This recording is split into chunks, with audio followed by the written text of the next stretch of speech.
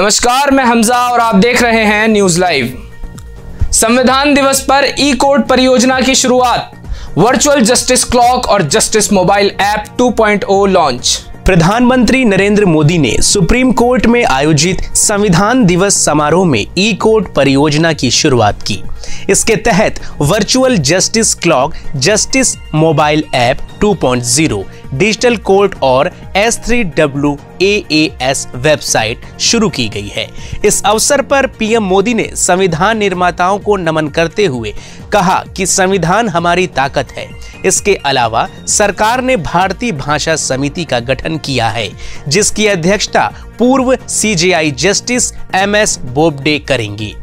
भारतीय भाषा समिति क्षेत्रीय भाषाओं में कानूनी सामग्री का अनुवाद करेगी और सभी भारतीय भाषाओं के लिए एक सामान्य शब्दावली तैयार करेगी। संविधान सभा ने 26 नवंबर उन्नीस सौ उनचास को भारतीय संविधान को अपनाया था।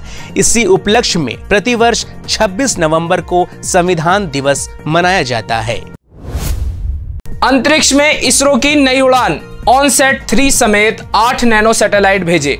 इंडियन स्पेस रिसर्च ऑर्गेनाइजेशन ने तमिलनाडु के श्री हरिकोटा स्थित सतीश धवन स्पेस सेंटर से आज P PSLV C 54 mission launch किया।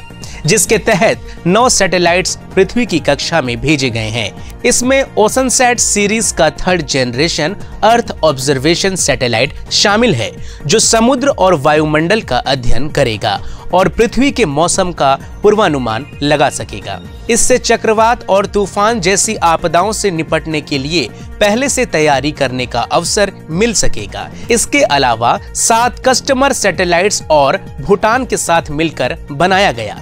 एक डिप्लोमेटिक सैटेलाइट भी भेजा गया है। 30 सेंटीमीटर के इस क्यूबिक सैटेलाइट को भूटान की इंजीनियर्स ने बनाया है।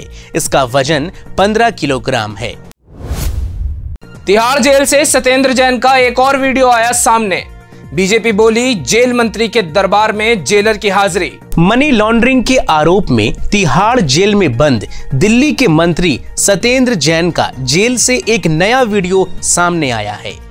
इसमें वह तिहाड़ जेल के सुप्रिंटेंडेंट अजीत कुमार के साथ बातचीत करते नज़र आ रहे हैं। भाजपा नेता हरीश खुराना ने इस वीडियो को ट्विटर पर शेयर करते हुए लिखा कि, लो जी, नया वीडियो ईमानदार मंत्री जैन का।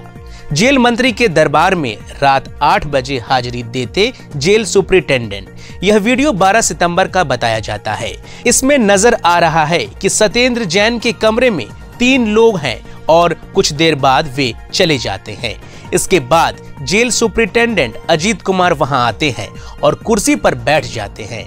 इस दौरान सत्येंद्र जैन बेड पर लेटे रहते हैं। जेल सुप्रिंटेंडेंट और सत्येंद्र जैन किसी बात पर चर्चा करते नज़र आ रहे हैं। सुप्रिंटेंडेंट अजीत कुमार को 14 नवंबर को सस्पेंड कर दिया गया था।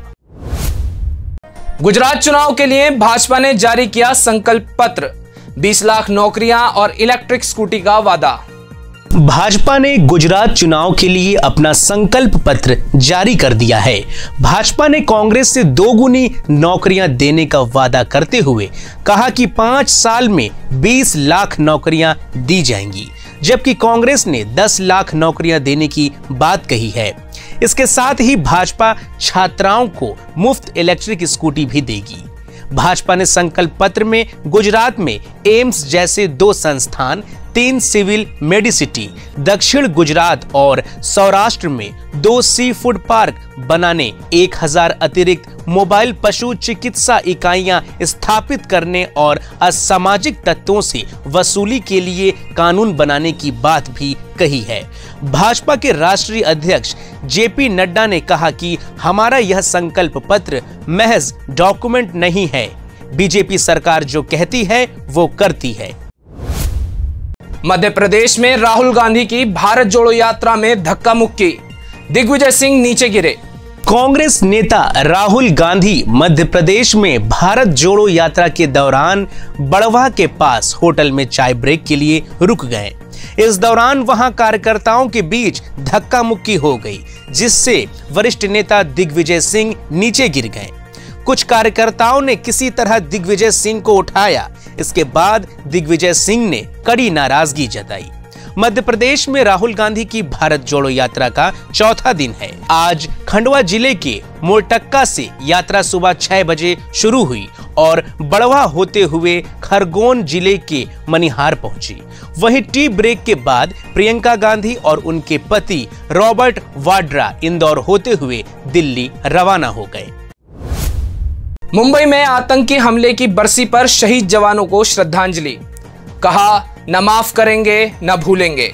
चौदह साल पहले 26 नवंबर 2008 को मुंबई पर हुए आतंकी हमले की भयावह यादें आज भी लोगों के जहन में ताज़ा है। इस आतंकी हमले में 166 से ज़्यादा लोगों की जान गई थी और करीब 300 लोग घायल हुए थे।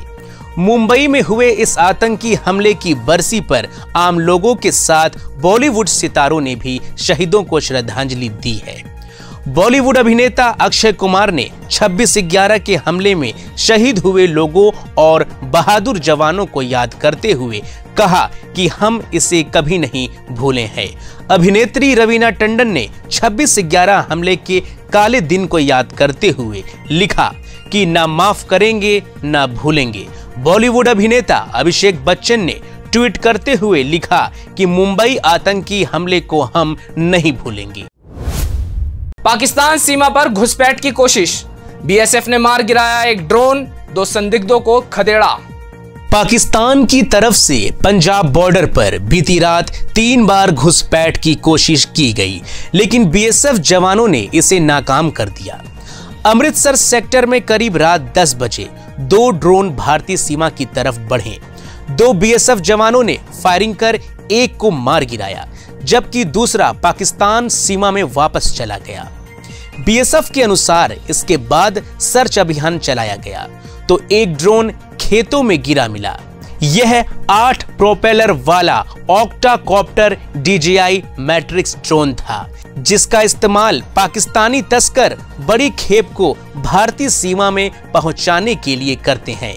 इसके अलावा बीएसएफ ने पठानकोट सेक्टर में घुसपैठ कर रहे दो तस्करों को खदेड़ दिया। ये तस्कर पाकिस्तानी रेंजर्स की चौकी फरईपुर के करीब थे। आज के लिए बस इतना ही। कल फिर मिलेंगे देश दुनिया की नई जानकारियों के साथ।